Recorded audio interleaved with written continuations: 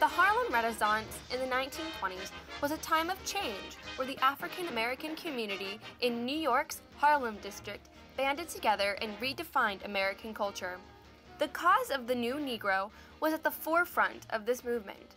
This ideal person was proud of their African heritage. The Harlem Renaissance brought in a new wave of literature, art, and music to America. Authors, writers, and poets such as Claude McKay, Sterling Brown, and Gwendolyn Brooks brought the African American culture into the limelight with their pieces speaking about Negro pride, racism, and their daily lives. Langston Hughes perfectly summed up the ideas of the Harlem Renaissance in the field of poetry. Instead of focusing inward and writing cryptically like many American poets did during the Roaring Twenties, Hughes used vernacular, positive language, and familiar themes to appeal to all people, especially the black population. He told stories that applied to him and his community. Some of his most popular poems are The Negro Speaks of Rivers, My People, Wisdom and War, and Harlem. So, Mrs. Hurston, tell me about yourself.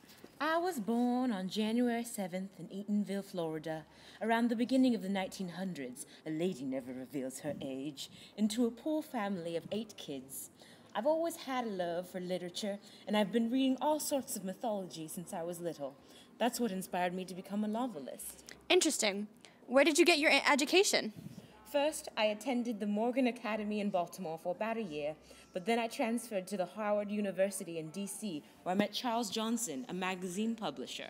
Once he featured my stories, my life changed forever. Hurston, I've heard not everyone approves your work. Yes, um, W.E.B. Du Bois is among the number of people who disapprove of what I say on my stance on racial, racial oppression.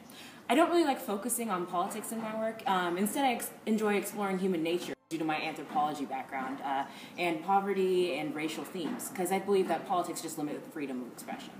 Well, Miss Hurston, it's a pleasure to have an interview with you. Thank you And I so hope so much we get to do it again. Glad to be of service.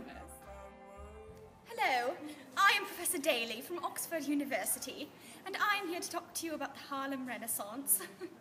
well, the art in the Harlem Renaissance. the art in the time of the Harlem Renaissance was full of colour and life. It used to express great emotion and passion of the people, often using colour blocking as a formative expression. Uh, the art was sharp and crisp, jazzy like the style and the music of the time period, a large inspiration of which was the dancing of the flapper era. This art piece here describes the emotion and the pain and suffering that the African American people had to endure in their history in America. They were enchained and imprisoned in their slavery, but broke free in the joy of dancing. The use of color and the art in the time expressed great joy and life. The popular new music that came from the Renaissance was jazz. It was born when the African American people had to overcome an unfair society. One way in which they did so was through jazz. Jazz was one of the most influential aspects of the Harlem Renaissance. One of the most popular places to go hear musicians perform was Harlem's own Cotton Club, who featured performers such as Louis Armstrong, Bessie Smith, and Billie Holiday. The Harlem Renaissance inspired the young middle class people to defy their elders and change uh, standards by changing their fashions and dance. Young women began to defy their elders in society by cutting their hair short, wearing short skirts, lowering the neckline of all their clothes, and foregoing their corsets. The young men kept similar fashions, but began to feel more liberated as well.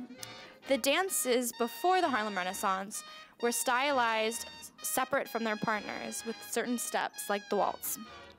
After the Harlem Renaissance began, dances like the foxtrot, tango, cakewalk, and kangaroo dip became more popular. These dances consisted of partners pressed tighter together, which was scandalous to the, the elders of society.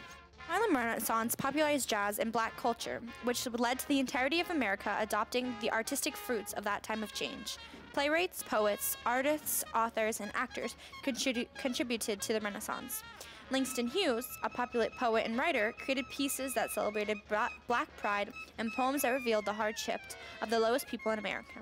Painters like Laura Wheeler Waring and Edward A. Harleston focused on the daily lives of blacks, hailing from various social classes, while Aaron Douglas's black and white drawings symbolize the African American race. The Harlem Renaissance erased the anonymity of African American race by bringing their art and literature to the forefront of public interest through young people's enjoyment of jazz and art. No longer were the contributions of blacks to American culture ignored. Instead, they were embraced. The bloopers. What the what the, what what I don't. Like another pair of your. We need bloopers. What are we? Wait, am I being your bloopers? yeah, I know. Uh, quite famous black uh, civil rights movement person. Oh God.